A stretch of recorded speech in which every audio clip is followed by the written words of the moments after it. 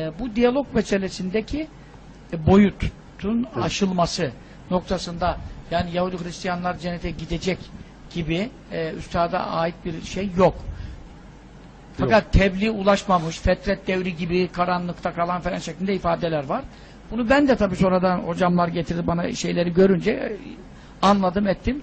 Fakat sizin üstadın e, İslam dininin nasip olduğu, diğer dinlerin mensup olduğuna dair tabii e, siz daha iyi biliyorsunuz Risale-i Nur'un melekeniz var. Çünkü ben o zaman da dedim bunun melekesi olan insanlar e, bu şeyleri okumalı, anlatmalı. Çünkü melekesiz oldu mu e, bir yerden çıkıp bir cümleden yanlış mana verenler de olabilir diye. Bu ustaki bilginiz görüşünüz. Evet yani sizin de dediğiniz gibi Üstad Hazretleri Birinci Cihan Harbi ve İkinci Cihan Harbi sırasındaki yapılan böyle e, bombalarla ezilen, felaketler çeken, perişan olan insanlara diyor acıdım diyor. Kim olursa olsun.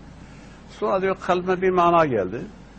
E, baktım ki yani 15'e kadar kim olursa hangi dinden olursa olsun ölse 15 yaşta buluğa sayıyorum yani. Buluğa evet. kadarkini oldum. Ondan sonra 15'ten yukarı olanlar ise eğer hakikaten mezlumsa, hiçbir haberi yoksa bu harbin patlamasında, kopmasında herhangi bir dahli müdahalesi yoksa Fetret ehli. e, ondan sonra bombalar altında bunlar eziliyorsa e, ahir zamanda da bir ya bir yarım fetret yahut fetrete benzer bir hal olduğuna göre Karanlık var diyor. e, bunlar da diyor o Hazreti İsa'ya inanmış kimseler e, belki onlar cehennemden kurtulur belki diyor. Hmm. Belki.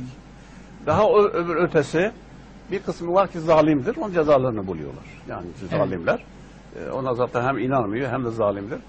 Bir de bazıları var ki bu mezlumların imdadına koş. E, onlar da Hristiyan, onlar da gavur. Ama mezlumları, insanları, masumları kurtarmaya çalışıyor. Onlar da mükafatı büyüktür diyor. Hmm. Şimdi bunun dışında diyalog dediğimiz şey ben şahsımız reyini söylüyorum. Yani Kur'an-ı Hakim'de mütemadiyen diyor ki Kul ya, eyyühen nebi kul ya ahlel kitabı ta'ala ila kelimet. Evet. Bunun benzeri çok ayetler var. Şimdi bu ayetler tekrarı devam ediyor. Hani bunların tebliğleri bitmiştir ve artık sona ermiştir. Bence yok. Ben öyle kabul etmiyorum şahsen. Bu tebliğ ve onlara İslam'ın ahlakını iyi gösterme, onlarla görüşüp onları bunları bildirme noktasından eğer niyet bu ise, Bu ise görüşülür. diyalog bu ise bu makbuldur. Ama yok bütün dinler aynı İslamiyet gibi Haksız. sahihmiş gibi tatbikatta cariymiş gibi o vaziyette kabul ediyorlarsa bu batıl bir fikirdir. Evet. Bunu kim yaparsa bilmiyorum. evet. Ve diyalog bence bitmez. Di- Diyalog her zaman olur. Nitekim İmam Gazali'nin o kitapta da yazdım. Evet. Kendisi El Faslu Beyne Zandakati ve İslami ve Zandak. O da diyor, e, şimdi diyor üç çeşit diyor tebliğ var.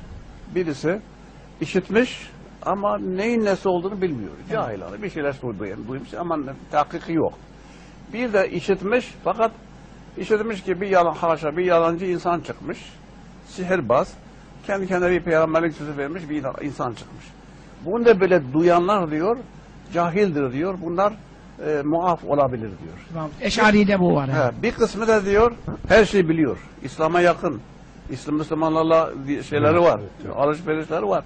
Bunlar diyor, asıl kafir mutlak cehennemlik bunlar. E, yani tebliğ ulaşmış. Tabi ulaşmış. Hakikate ulaşmış. Evet.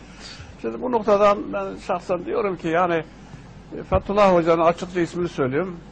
İnşallah niyetleri budur. O kitapta da biraz temas ettim. Niyetleri bu ise yani onlara İslam'ın güzel ahlakını, yalan söylemeyen Müslümanların olduğunu, ahlakı güzel olduğunu, vaatlerinde sadık olan Müslümanlar olduğunu, bunlara bu ahlakı göstermek için onlarla diyalog kurmak, onları dine çağırmak. Niyet bu ise güzel. Ama yok dediğim gibi efendim onların dinleri de aynı İslamiyet seviyesinde yüksek bir dindir, semavidir, hiç bozulmamıştır, mensuh değildir. Böyle bir niyet varsa Allah muhafaza etsin. Risale-i Nur talebeleri bundan uzaktır.